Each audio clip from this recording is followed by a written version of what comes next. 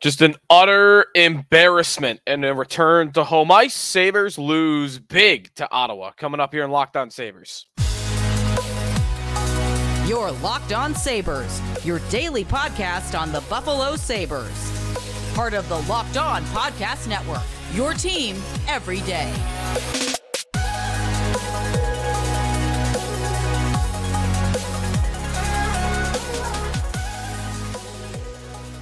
And thanks for making Locked On Sabres your first listen every day, free and available wherever you get your podcast, part of the Locked On Podcast Network, your team every day. Today's episode is presented by FanDuel. Make every moment more right now.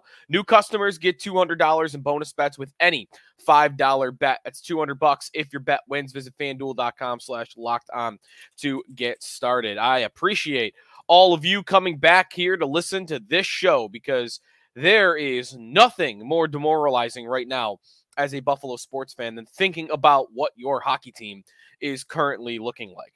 A six to two shellacking to the Ottawa Senators. The Sabres fall, and it got ugly quick in their return to home ice. I warned everybody. And listen, I'm a part of the machine, so I'm definitely at fault too.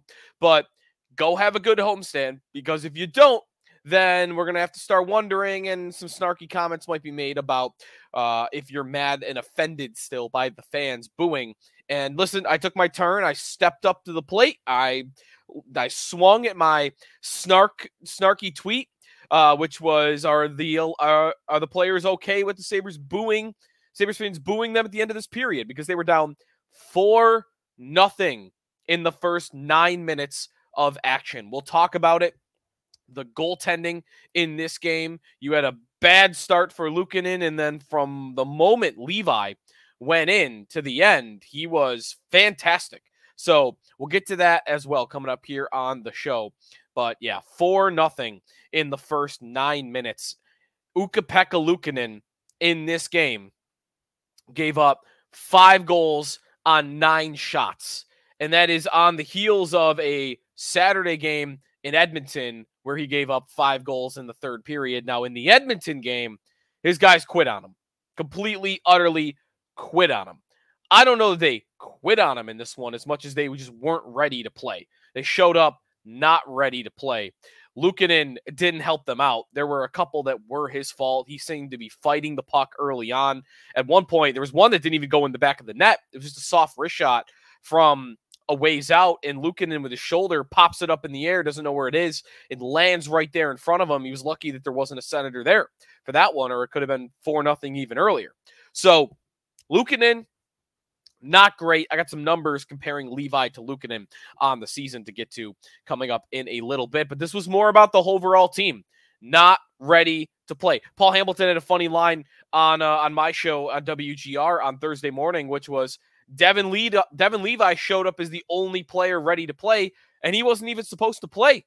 Nobody looked ready to play. Jack Quinn, in his return, didn't go great. Didn't win my parlay, obviously, at the Sabres money line, but Quinn was a minus three on the night. He got just over 15 minutes of ice time. Um, but that's not on him. I mean, it's his first game back.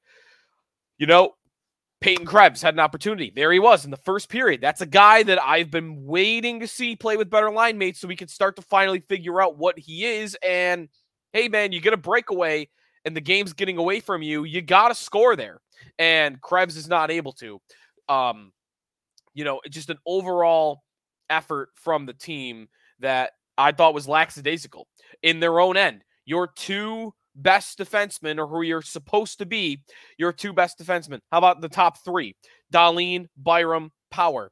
All make big mistakes in the first period. You had uh, Dahlin miss the puck on the Boris Katchouk uh, goal. I don't even know how to pronounce the guy's name. He's a newer guy for Ottawa. Uh, Dahlin cuts out in front to defend, and he gets the perfect position, and then takes just a weak swipe at it and it doesn't get anything on it and then it goes right to the senator and it goes into the back of the net. Like, come on, that's if you're going to be a Norris trophy level defenseman, you can't let plays like that happen. Owen Power, lackadaisical along the wall. There are some plays with him that just drive me mad. No urgency along the wall, and it's stolen away. It's thrown out in front, and Ottawa scores again. And Bo Byram got fined for this already. They didn't score on the power play, but you know, this one I guess I won't throw as much towards Byram. Byram with a big check interference on, I believe it was Parker Kelly uh, in the first period. He just throws a check kind of out of nowhere. It was clear interference. He got fined $5,000 for it. Brady Tkachuk went after him a little bit later on in the second period because he was upset about it. So I guess you know, it's Byram showing frustration. I can't be too mad at him for that because that's what everybody really wants to see from this team is frustration. And other than Byram throwing that check, I mean, Dahlin kind of threw his glove in a guy's face at one point too. No pushback, no fight back. And what's being thrown around a lot by fans right now are words like mental weakness and soft and immature it's it's the youngest team in the league still. They have experience, yes, but it is the youngest team in the league, and they look like a mentally fragile team uh, in general. And that could even be related to the fan stuff if you want. But let's keep it on the ice here and just say they don't respond well in these spots. And that's twice now in a week where that's happened, where a five goal period has gone against you. And that is letting things spiral out of control. And I wonder, does Don Granato feel like he has the answers? Do they still does he still have the the ear of the team? I mean, they act like they do. They talk like he does, but they certainly don't play like it. They don't play like, you know, they're they're trying to save their head coach's job. Um, that's got to start happening. I, I do wonder, you know, there's an article in the Buffalo News this morning from Mike Harrington, the first uh, article that I've seen that's pretty much just called for Don Granato to be fired. I know a lot of fans have done that, but Harrington was writing about that. And say what you will about uh, about him, but that's you got you got questions being asked. Someone's writing about Granato's job security, and I don't know that there's a, a that there's any end of the season that could get me to think they're actually going to do it. I'm very hard pressed to see them actually doing it. But do these games matter? Nine games left. And do these games matter to his job? Could it go so poorly in the final weeks of the season that Granato could coach his way out of the job and really make them act? And I'll tell you this: I don't expect a lot of more, a lot more nights to look like what that just looked like against Ottawa, but that's what it looks like. That's the game. If you get a stretch of those, then the coach maybe could lose his job because it would get so embarrassing, so bad that they feel like they have to act. Ralph Krueger. the Sabres did not want to fire Ralph Krueger that COVID season. They didn't. They had actually just given him more voice in the front office, in the organization, because he had had front office experience in the NHL as a scout, if you will. And then, of course, in other sports and soccer, he had been a president. So they started to give Krueger more of a voice. And they didn't want to fire him. He just had a contract extension, I believe. But 18 game losing streak, like, come on. All right. It gets to a point where you've got to do, you've got to act. And is there something like that that could happen for Granato down the stretch where it's, we don't want to fire him, but look at this. We got to act. We can't do nothing. Maybe that happens down the stretch, but you're going to have to have a few more games at least that look like what that Ottawa game just looked like. An abysmal performance from the Sabres. Uh, you are off for multiple nights. You had only had one game in five days. You were well rested, and that's what you looked like on the ice. Total embarrassment from that team last night to let that happen. I feel for the fans that went to that game. There were 14,000 fans as the announced attendance. I did not go to this game, but I feel for a fan. I had one texter text into me that they had just bought the hot dog of the day. They grabbed a beer and they went to sit down. It was 3 nothing.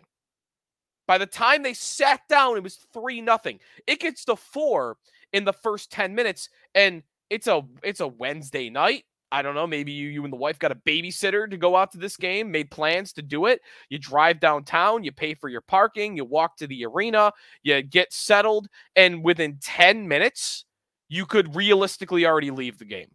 You could just poof, just blow the night up. Like, let's go do something else. Let's go to a show. Let's go to a movie. I don't know. Do something other than this because from the time it's four nothing on, there's no there's no point. You got 51 minutes of hockey that nobody cares about because you already know what the result of the game is going to be, uh, and why just make yourself upset. So I would have left. You know, depending on what you would have spent for tickets. I know that's part of this too. Um, but if you got tickets for cheap, you know, could have been using the uh, game time app.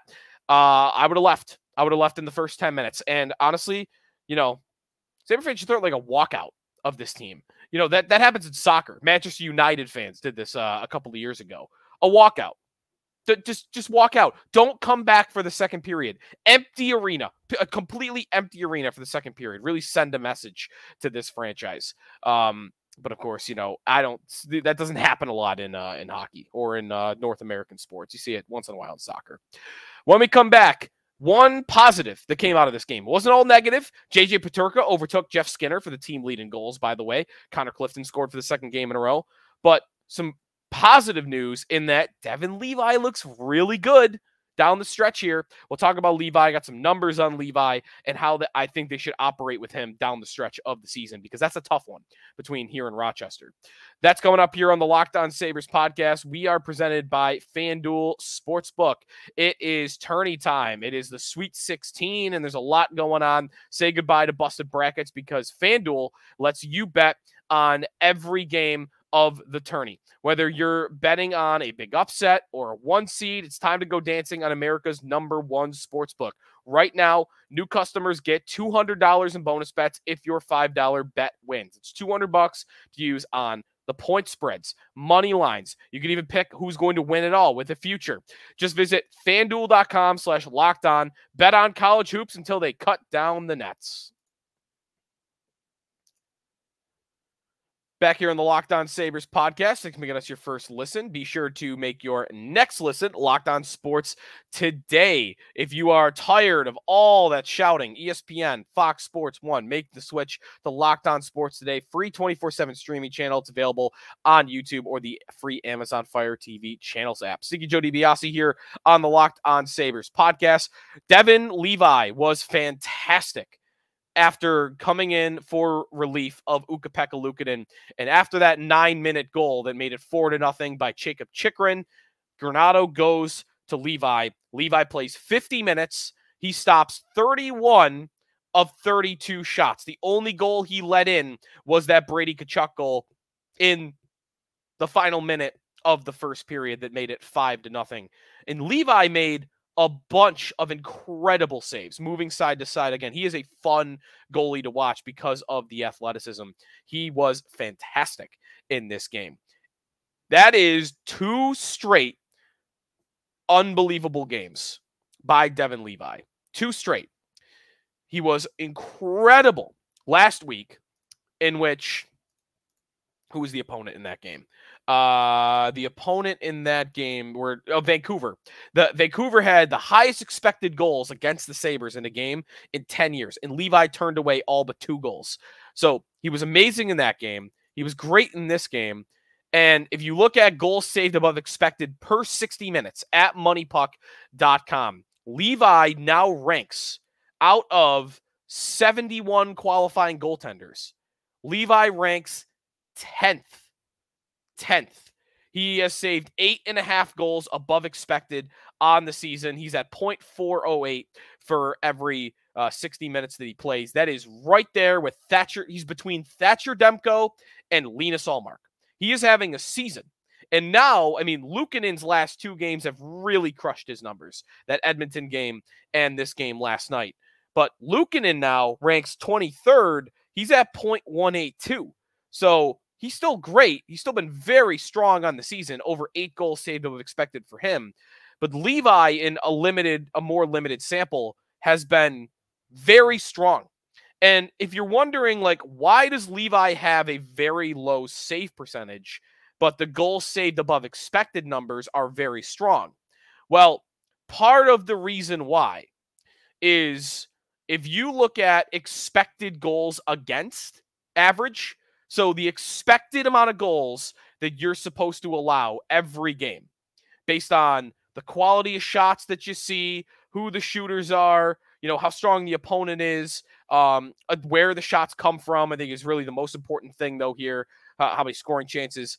who what how many goals should you let in on average based on what you face? Levi second highest in the NHL. The second only Kaapo Kähkönen is higher than Devon Levi is. He's expected to allow 3.57 goals per game. So he's getting a hard test every time he's in there. And for comparison, Luukkonen on the season, 56th highest out of 71. So Levi is second, Luukkonen is 56. That's almost like strength of uh, chances that you face. So a lot of it is he's just got a tough assignment. And that's why save percentage looks lower than some of his advanced numbers. And I my eyes tell me the same thing. I think Levi looks very strong. I think he looks well polished. You know, maybe his his worst stretch of the year was when he came back from injury. He started the year early on. He was okay uh, against the Rangers and the Islanders. He played those first four games of the season. He got hurt against Calgary, finished that game, and then missed a couple of weeks. And then once he came back, he struggled a little bit. You know, I don't know this, but maybe there's something to be said for coming back from the injury. He wasn't all the way back yet. But he went down to Rochester, became one of the best goalies in the AHL all season long, if not the best goalie in the AHL. Then he came back up to Buffalo, and in three appearances, or is it two appearances? Uh, two appearances. In two appearances since being called up, he's been fantastic in both of them. So, what I would do with Devon Levi down the stretch is can he really earn a 1B type of role for next year for planning purposes, as opposed to you're the clear cut number two to Ukko-Pekka Luukkonen. Maybe it doesn't matter. I mean, often coaches will just go with who the hot hand is. So, how much of this rest of season matters to how much he'll play next year? Probably not a lot. But they've got four home games coming up. They've got one of those is a back to back. I'd play Levi twice. They're out of the playoff race now. It's over. So I don't need to hammer Lukin in every single night. Maybe they want to get Comrie a game because he's really getting a, a, tough deal here where he's not even allowed to play. He's practicing with the team. He's not allowed to play in Rochester either. He's just sit, hanging out doing nothing. Maybe they give Comrie a game just to be friendly to him. Uh, I though think you can start to lay off of Luukkonen a little bit. Don't drive him into the ground at the end of the season for nothing. You're out of the race. His the story of his season is written. Luukkonen's been incredible. One of the best goalies in the league since January 1st. One of the best goalie seasons in general in the league all season long. His story for the season has been written. You, I'm not saying bench him for the year, but maybe just, you know, turn it down from an 11 to like a 5 and let Levi get back in the rotation and let him get some games in the NHL before inevitably sending him back down to Rochester to go on a playoff run with the Amerks. That's what I would do. You've got a Friday, Saturday against New Jersey, Toronto. I would give Levi one of those two games. Then I would give him one of the two games next week against Washington and Philly. I would just keep going that way. I would just keep going every other Luukkonen and Levi, maybe a mixed Comrie in at the end of the season uh, once you send Levi back. But for the next five, six games, I'd like to see Levi get three of them, if I'm being honest. Luukkonen, again, it's not a criticism of him. I just think – we already know what he is. He's earned the right to be called a number one goaltender, and he's earned the right to have a, a nice size bridge contract. I, I don't know what you gain by having to play Luukkonen eight of the last nine games. Play him five. Play him four of the last nine games. I don't think that would be a problem. When we come back, uh, some messages from the group chat. From the group chat, I asked a question to texters that's going to be a subject I'm going to talk about more coming up on a, on a, on a future show about the three forward prospects that are coming up in the organization. I'll let you know what some of our texters think about the timeline of the young guys and when they're going to get here. That's coming up here on the Locked On Sabres podcast. We are presented here on the show by eBay Motors. Passion, drive, and patience. What brings home the winning trophy is also what keeps your ride or die alive. eBay Motors has got everything you need to maintain your vehicle, level it up to peak performance, superchargers, roof racks, exhaust kits, LED headlights, and more. Whether you're into speed, power, or style, eBay Motors has got you covered. With over 122 million parts for your number one ride or die. You'll always find exactly what you're looking for. And with eBay Guaranteed Fit, your parts guaranteed to fit your ride every time or your money back. Because with eBay Motors, you're burning rubber, not cash. With all the parts you need at the prices you want, easy to turn your car into the MVP and bring home that win. Keep your ride or die alive at ebaymotors.com. Eligible items only. Exclusions apply. eBay Guaranteed Fit only available to U.S. customers. Final segment here in the Locked On Sabres podcast. Sabres fall 6 to 2 to the Ottawa Senators. Next up for them, Friday night hosting New Jersey, Saturday at home against Toronto. I'm expecting a Maple Leaf takeover once again for that one. The last time the Maple Leafs, though, were in town, uh, the Sabres won that game 9 to 3, and that was a lot of fun. And listen, while they're out of the playoff race, it's always fun to send Leaf fans home upset. So that's one game I know I will be fully invested in seeing the Sabres win. In fact, I might even try to get to that game. Uh, we'll see. So that's coming up on Saturday after the Sabres play New Jersey on Friday. From the group chat, if you want to become a Locked On Sabres uh, sortie a, on our text line, go to joinsubtext.com slash locked on sabres, and we will head to the group chat for my question of the day. And the question, or really the take of the day, is about Matt Savoie, Jiri Kulich, and Isak Rosén. All three are on a timeline to where they should be in the NHL next year. Matt Savoie, two years since he was drafted, he has been dominant this season at, in the WHL. He's moving around all these teams. I can't even remember which team he's on because again, this is like the third WHL team. Uh, Moose Jaw, Moose Jaw Warriors. He got traded there, um, I believe this this year, this offseason. He has 47 points in 23 games. He's over two points per game for them. Before that, with the Wild, the Wenata- the Wenatchee Wild of the WHL, he had 24 points in 11 games. So he's well, he's a good amount over two points a game uh, for the season. He's above and beyond that level of hockey. He's he's better than that. By the way, I didn't even mention he only got six AHL games in earlier for the Amerks, but he had five points in six games there. Um, for that weird three minute game for the Sabres and got sent back. Uh, so Savoie, like, he's ready. I think so. I mean, he didn't get a training camp this past season because of the injury and development camp. Um, but if he has a good development camp, like next in the timeline for him, I mean, I think Buffalo makes more sense given that he was a top 10 pick. Jiri Kulich and Isak Rosén, both of which have played two full seasons in the AHL. Um, and Kulik maybe has been better than Rosine, but both have been very good for them. So what's next for both of them? I mean, especially Rosén, because Rosén is now 21 years old. Like, it's time to go here. Like it's time to it's time to get in the lineup and let's see what you are. But does anyone expect or even want them to carve out not one, not two, but three spots in the lineup for prospects next season for three rookies? Do they want a fourth of the forward lines to be rookies? And that doesn't include Zach Benson, who will still only be 19 years old next season.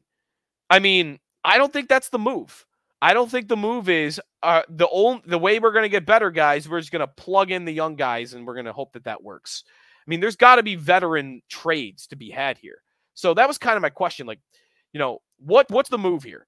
Do you trade them? Who do you trade? How many spots do you want to create? Because in my mind, one. That's the right answer. One spot gets created next season for one of those three, and maybe they trade another one. Uh, one texter sends in. I always go back to thinking that Kevyn Adams' biggest mistake was making all three first round picks in Savoie uh, and then the other two. I look at the roster, and to me, Benson, Savoie, Ostlund and Rosén are all the same profile of player. They need to trade at least one, if not two of them, to get different types of skill. Organizationally, they lack elite forechecking and play along the boards. I'm looking at a Martin Necas trade from Carolina and a trade up in the draft to go get Cayden Lindstrom. Uh, I'm not familiar with Cayden Lindstrom. I'll talk. Uh, I'll ask uh, Hadi Kalakash, uh, locked on NHL prospects next time he's on.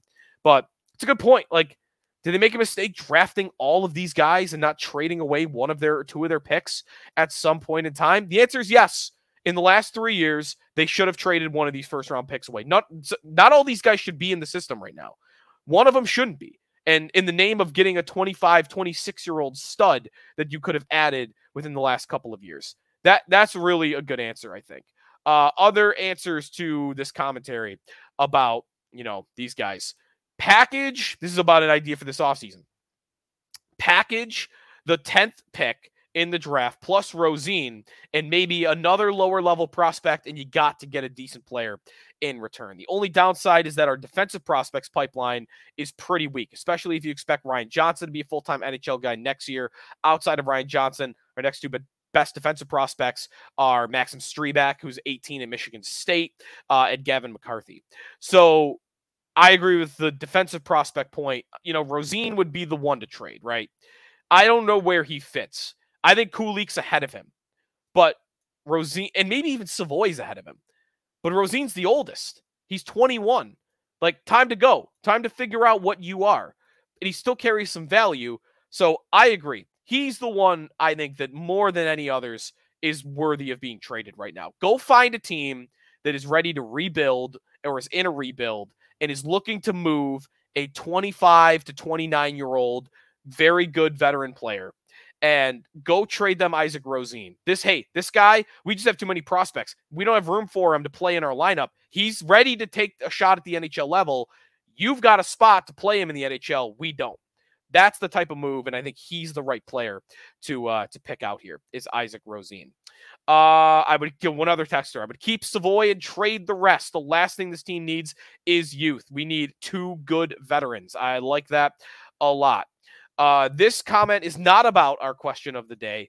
Um, it's more about Granato. One texter. If we made a run and missed the playoffs by three to five points, I could see the organization making the argument that Granato deserves another year. I have a feeling we'll be out by eight 10 in a year where the wild card teams are not especially strong. There is no excuse not to fire him besides not wanting to pay him. I think that's mostly right. I will point back to an episode I did last week on this show. Just want to mention this again. I do think a, sm- a part of the reason, too, is Granato is very popular amongst players, not just with the Sabres, but league wide. And I do wonder if part of the reason they would want to hold on to Granato is he's one of their only way, only tools to get talented players to come here. I don't think that should be num- the priority, like the number one reason why you can't fire a guy. Um, but I do think that's worth mentioning here. The paying him part, though, is probably more more important uh, to the organization. They just signed him to an extension. It hasn't even kicked in yet, and they're going to fire him.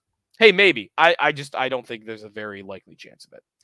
All right, it's going to do it for us today here on the Locked On Sabres podcast. Come back tomorrow. We'll talk more about the Devils. The Devils are having a similar fall that the Sabres have had. The difference is the Devils season last year was a lot better than the Sabres season last year was. So what's going on with New Jersey?